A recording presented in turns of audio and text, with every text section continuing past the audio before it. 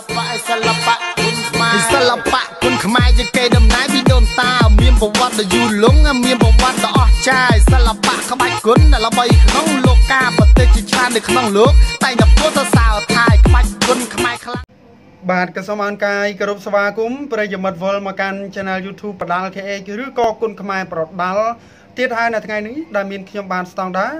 ជាអ្នកអត្ថាធិប្បាយផ្ទាល់នៅក្នុង Channel ក៏បានវិលត្រឡប់មកវិញដូចគ្នា ហើយនៅថ្ងៃនេះយើងមានជាដំណឹងថ្មីដែលតាក់ទងទៅនឹងតោកំណាចវ័យរៀងជ្រេខេត្តបាត់ដំបងកែវរំចង់ណាកែវរំចង់ពុកម៉ែបងប្អូនប្រហែលជាចង់ដឹងហើយថាតើកែវរំចង់វាយថ្ងៃណាឲ្យពិតប្រកបណានៅស្ថានីយ៍ណាអីណាអញ្ចឹងថ្ងៃនេះយើងមានបើពេញចិត្តនៅវីដេអូរបស់យើងខ្ញុំសូមកុំភ្លេចចុចពាក្យជាវឬក៏ Subscribe ម្នាក់មួយផងដើម្បីទទួលបាននូវព្រឹត្តិការណ៍ព័ត៌មានកីឡាជាតិនិងអន្តរជាតិថ្មីថ្មីក្តៅក្តៅ នៅក្នុងដៃអស់លោកអ្នកភ្លាមភ្លាមឲ្យតែមានអ៊ីនធឺណិតហើយនៅទីមុននឹងចូលទៅសាច់រឿងខ្ញុំសូមប្រកាសប្រម៉ូទតិចតាក់ទងទៅនឹងបងកៅរំចង់គាត់មានលក់មកហូបអាហាររបស់ញ៉ាំណាអាចយកមកទុកយូរហើយរសជាតិវិញគឺឆ្ងាញ់ហើយអ្នកធ្វើក៏ស្អាតទៀតគឺប្រពន្ធបងកែរំចង់នឹងតែម្ដងប្រពន្ធបងកែរំចង់គាត់បានបើកអាជីវកម្មមួយ គឺបើកលក់បុកប្រហុកបុកកាពិគឺមានរសជាតិឈ្ងុយឆ្ងាញ់ និយាយរួមទៅពុកម៉ែបងប្អូនណាដែលចង់កំងក៏ដូចជាចង់ជួយទិញបងកែរំចង់ណាអ្នកដែលស្រឡាញ់គុណខ្មែរហើយចង់បានរបស់ញ៉ាំឆ្ងាញ់របស់ញ៉ាំស្អាតហើយធ្វើផ្ទាល់ដៃពីបងកែរំចង់នឹងភរិយានោះសូមកុំភ្លេចតាក់ទងតាមរយៈលេខទូរស័ព្ទ098 97 23និង97 069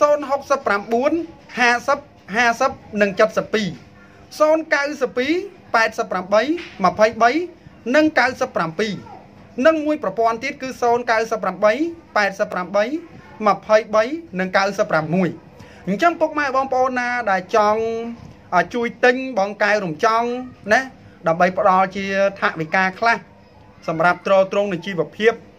ក្រៅពីវិស័យកីឡាបដាល់សូមចូលរួមគ្រប់គ្រងនៅមហោបអាហារបងកែវរំចង់ផង នៅពុកម៉ែបងប្អូន អាចជួយទិញគាត់ទៅតម្លៃសមរម្យទេហើយមានការផ្ញើជូន25ខេត្តក្រុងឲ្យតែពុកម៉ែបងប្អូនតអ្នកតំណងចង់ញ៉ាំថាតើចង់ភ្លក់ទេស្នាដៃបងកៅចង់ឆ្ងាញ់កម្រិតណាណាចង់ភ្លក់ទេថាតើបុកប្រហុកបុកកាពិដែលមានរសជាតិហិលហិលហើយយើងមានមលក់ដូចជាត្រប់មានតសក់មានអីចឹងណាយកមកអឺផ្គាប់ជាមួយគឺឆ្ងាញ់មែនតើ អញ្ចឹងសង្ឃឹមថាពុកម៉ែបងប្អូននឹងជួលនឹងចូលរួមគ្រប់គ្រងកីឡាករគុណខ្មែររបស់យើងដែលគាត់បើកអាជីវកម្មលក់មុខម្ហូបហើយអាចកំងបានដូចខ្ញុំលើកឡើងអញ្ចឹងថាយើងកំងទៅអឺមកប្រអប់ពីរប្រអប់គឺគិតលុយតាមហ្នឹងហើយតម្លៃគឺថោកសមរម្យសំខាន់អ្នកធ្វើហ្នឹងស្អាតហើយខ្លាំងទៀត ហ្នឹងហើយគឺស្អាតប្រពន្ធបងកែរំចង់និងខ្លាំងគឺបងកែរំចង់ហ្នឹងតែម្ដងអញ្ចឹងពុកម៉ែបងប្អូនអរគុណច្រើនហ្នឹងហើយចូលរួមខមមិនផងឥឡូវយើងចូលទៅសាច់រឿងកុំភ្លេចចូលរួមជាវផងតកតងទៅនឹងដំណឹងថ្មីរបស់បងកែរំចង់តោកំណាយខេត្តបាត់ដំបងវ័យរៀងជ្រេហើយក៏ធ្លាប់សាងស្នាដៃនៅលើឆាកអន្តរជាតិច្រើនតាក់ទងទៅនឹងការចេញទៅវាយនៅសង្វៀន K1 ការចេញទៅវាយនៅសង្វៀនថៃហ្វៃការចេញទៅវាយនៅស្រុកបារាំង អីជាដើមឥឡូវនេះគឺដំណឹងថ្មី នៅដើមខែ8គឺថ្ងៃទី1ខែ8កែវរំចង់នឹងមានវត្តមានប្រកួត នៅស្ថានីយទូរទស្សន៍ BTV ស្ទឹងមានជ័យអញ្ចឹងពុកម៉ែបងប្អូនកុំភ្លេចចូលរួមគ្រប់គ្រងតាមរយៈ Facebook page B Bayon TV Boxing ក៏ដូចជា BTV អឺ Wilson ក៏ដូចជានៅតាមកញ្ចក់ទូរទស្សន៍ តាក់ទងទៅនឹងបងកែវរំចង់គាត់ធ្លាប់ប្រកាសហើយថាគាត់មិនប្រកួតខ្មែរខ្មែរទេអញ្ចឹងមានន័យថានៅក្នុងខែ8ថ្ងៃទី1គឺមានការប្រកួតជាមួយនឹងកីឡាករអន្តរជាតិតែសុំលាក់សិន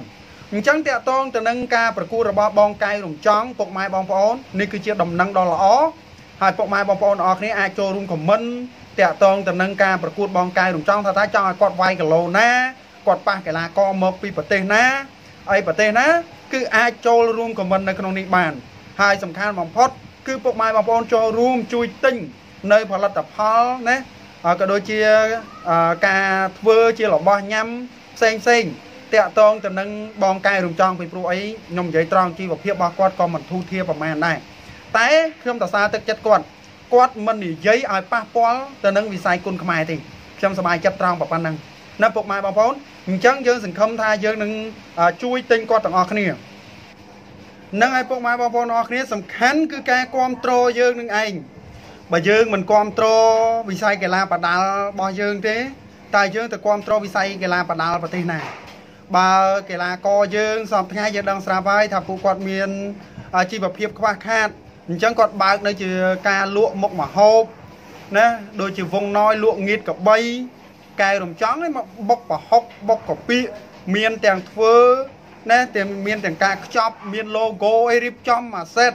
គឺស្អាតតែម្ដងសំខាន់គឺពុកម៉ែបងប្អូនគ្រប់ត្រហើយនៅថ្ងៃទី1ខែ8គឺធានាជូនថានឹងមានការប្រគួតរបស់បងកាយរំចង់ហើយគាត់ថាក៏ក្រៅគាត់វាយឲ្យក៏ក្រៅមិនឲ្យពុកម៉ែបងប្អូនអ្នកគ្រប់គ្រងវិស័យកីឡាបដាល់ហ្នឹងគឺខកបំណងទេណាមិនឲ្យខកបំណងទេ អញ្ចឹងសង្ឃឹមសង្ឃឹមថាគាត់នឹងជួបដៃគូដ៏ស័ក្តិសមនឹងល្អបើសិនជាអាចយកកីឡាករថៃមកតែសុំកម្រិតកំពូលកំពូលយកមកវាយមួយគាត់ចង់ដឹងពីសមត្ថភាពរបស់គាត់ណែក៏ដូចជាដកស្រង់នៅបច្ចេកទេសក៏ដូចជាយកកីឡាករយកមកពីប៉ែកអឺរ៉ុបប៉ែកអីខ្លះមកក៏ប្លែកដែរនេះក៏ប្លែកដែរអញ្ចឹងខ្ញុំសង្ឃឹមថាបងកែមចង់នឹងជួបដៃគូដ៏ស័ក្តិសម ហើយពុកម៉ែបងប្អូនទាំងអស់គ្នាតាក់ទងទៅនឹងមួយទៀតបងកៅរំចង់គាត់នឹងត្រៀមខ្លួនចេញទៅវាយនៅក្រៅប្រទេសដែរណាទៅចេញទៅក្រៅប្រទេសដែរតែសុំលាក់សិនអញ្ចឹងគាត់នឹងមានដំណឹងល្អក្រោយពេល COVID-19 ត្រូវបានបញ្ចប់ហើយខ្ញុំក៏សប្បាយចិត្តដែរពុកម៉ែបងប្អូនពេលដែលគាត់បើកជាការលក់មុខម្ហូបអីផ្សេងផ្សេងបានផ្ដល់នៅកម្រៃខ្លះ មកដល់គាត់ឃើញទេគាត់អាមក COVID-19 ហ្នឹងមិនដឹងប្រហែលខែហើយទេ បងកែមិនចង់អត់មានការប្រគួតទេអញ្ចឹងគាត់ពឹងទៅលើមុខរបរនឹងឯងណែមុខរបរនឹងឯងអញ្ចឹងកំសត់ណាអញ្ចឹងសង្ឃឹមពុកម៉ែបងប្អូនទាំងអស់គ្នាចូលរួមជួយទិញនៅមុខមហោបបងកែរំចង់ហើយគាត់ហើយខ្ញុំនឹងក៏រាប់បងរាប់អានគ្នាជាបងប្អូនធေါ်អញ្ចឹងខ្ញុំគ្មានអីទេគាត់ថាខ្ញុំជួយផ្សព្វផ្សាយ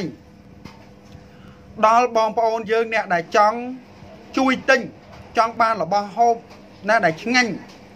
ហើយស្អាតមានផាសុខភាព ធ្វើដោយដៃកីឡាករនិងភរិយាផ្ទាល់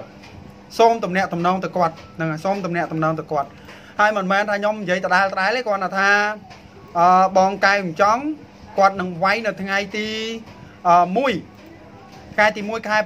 8ហើយលេខទូរស័ព្ទរបស់គាត់ខ្ញុំសូមផ្សាយម្ដងទៀត ដែលពុកម៉ែបងប្អូនដែលមានបំណងចង់ទិញណានៅមុខមហូបឆ្ងាញ់ហលហលណាតាមរយៈលេខទូរស័ព្ទ098 97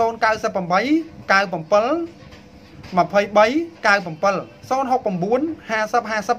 72និង092 88 23 97 098 88 23 96កុំភ្លេចជួយចូលរួមជាវផងហើយបន្តិចទៀតហ្នឹងខ្ញុំក៏មានកម្រង ផលិតនៅជាខ្សែវីដេអូតាក់ទងទៅនឹងជីវិតរបស់កីឡាករឥឡូវឧទាហរណ៍ថាកីឡាករកៅរំចង់ចុះខ្ញុំចង់ស្រាវជ្រាវក៏ដូចជាធ្វើជាវីដេអូដាក់ថាគាត់នឹងចូលហ្វឹកហាត់ពីអាយុប្រមាណស្រាវជ្រាវណាគាត់បានវាយអន្តរជាតិជួបកីឡាករណាខ្លះដែលប្របាក់វាយនៅក្នុងអាជីព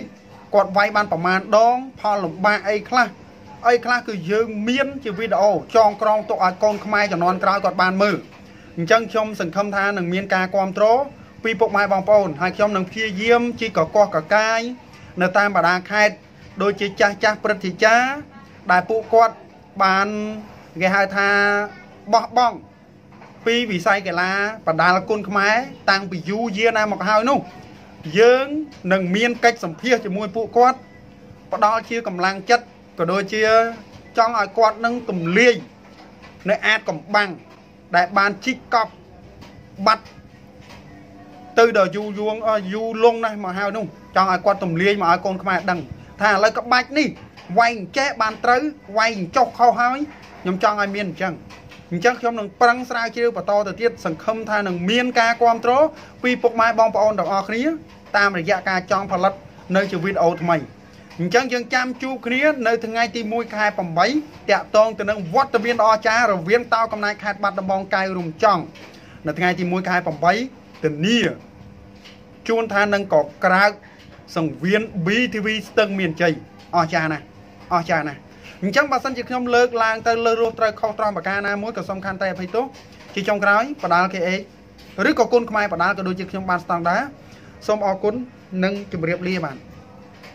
បៈសិល្បៈគុណខ្មែរសិល្បៈគុណខ្មែរជាកេរដំណែលពីដូនតា មានប្រវត្តិដ៏យូរលង់មានប្រវត្តិដ៏អស្ចារ្យសិល្បៈក្បាច់គុណដែលល្បីក្នុងលោកកាប្រទេសជាច្រើននៅក្នុងលោក តែងតែពោលសរសើរថាក្បាច់គុណខ្មែរខ្លាំង